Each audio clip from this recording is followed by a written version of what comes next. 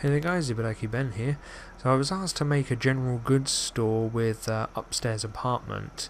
So uh, this is what I made. Um, so basically if you move through, oops, you've got the store area, so you've got weapons and general trader. And then uh, you can't actually get in there from around here. You do have to go around the back.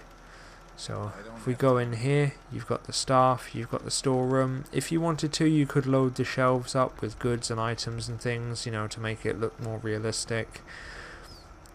Moving upstairs, we've got the outdoor balcony area. And then through here, we have one bedroom. We have another bedroom here. And you've got the bathroom. So uh, it's quite a simple design and uh, I'm using uh, pretty much all of the uh, DLC that you actually get with Far Harbor for this one. So uh, I've not really used any mods or anything. I mean I'm playing on PlayStation 4 so there are no mods anyway so this is a completely vanilla build. So uh, yeah this is my overall design of a general goods store with upstairs apartment. Thank you very much for watching and I'll see you in the next video.